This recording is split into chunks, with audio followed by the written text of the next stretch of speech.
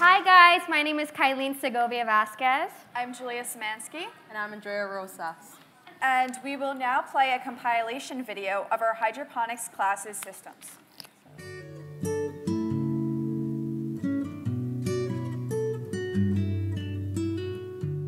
Hi, I'm Anthony Zeno. I'm John Rakombani. I'm Karina Toledo. I'm Julia Szymanski. And I'm Abdullah Nasir.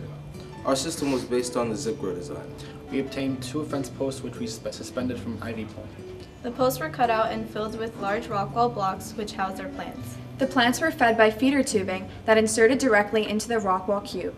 Our design required two pumps and two separate buckets for reservoirs. The fence post caps were used at the bottom to collect water and to help it drain. Hi, my name is Joseph Valentino. I'm Samuel Andrews. I'm Delilah Torres. I'm William LeBron. Our project was designed as a vertical NFT system. We utilized two 2-inch PVC pipe sections with circular holes to support our plants. They were attached to a center support by means of a T-shaped connector and two 90 degree angle connectors. The system was anchored to a 20-gallon garbage can and supported internally by a, a small inverted garbage can. Hello, my name is Dulce Amonte. My name is Marcus Heredia. I'm Mario Vergara. I'm Nelly Pacheco. I'm Abigail Melendez. Our project utilized an upper reservoir that housed six plant tubes. These plants are contain a large rock wool block with a smaller rock wool cube in the center. The larger rock wool cubes were fed directly using feeder tubes attached to a flexible hose. Our greatest challenge was the appearance of several leaks in the system that we repaired with silicone. Overall, our system was successful in the growth of plants. Hello, my name is Christian Montanez. I'm Darren Leftel. I'm Candida Rodriguez. And I'm Kailyn Segovia. Our project was based on a modified NFT system. We utilized four Fiji water bottles attached side by side with Velcro to a storage lid. It rested on a plastic fish tank. And the plants were watered utilizing feeder tubing attached to a flexible hose.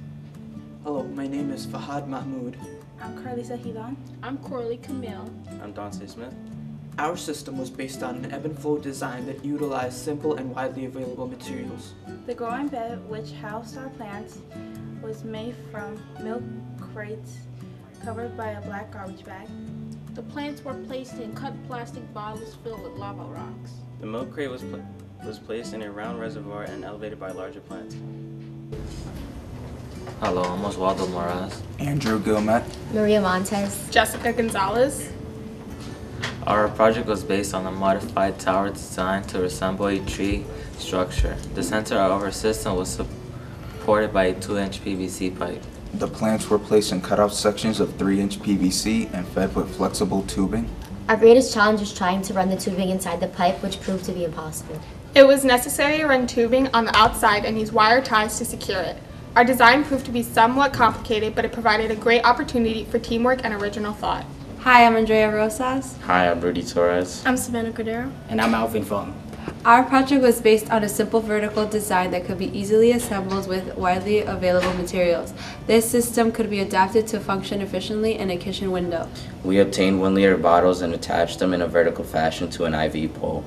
Tubing was run on the outside of the system and emitter nipples were attached to deliver water to the plants. The bottles were filled with lava rocks that held our plants.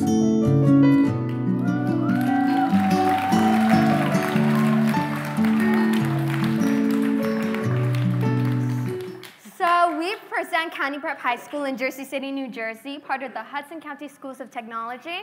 So we would like to acknowledge our superintendent, Mr. Frank Arjulo, our principal, um, Barbara Mendola, and our teachers, Mr. Nicholas Lavolpe and Dr. Stephanie Szymanski. This experience provided a unique opportunity to plan, design, and implement an original structure that would work efficiently in the growth of plants. This challenge blended creativity, teamwork, and trial and error methods to bring our project to fruition. We would like to thank New York Sun Works for allowing us to participate at this conference. Thank you for your time. Thank you. Thank you.